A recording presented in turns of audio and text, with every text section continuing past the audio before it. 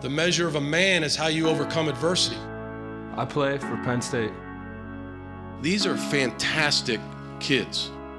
We've got guys that are great students.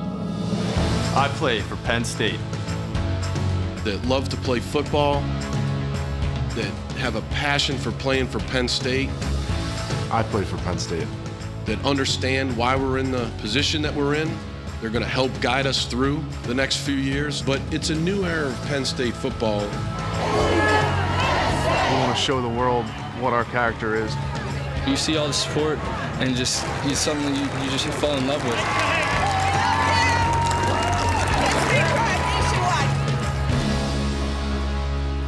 Let's get going.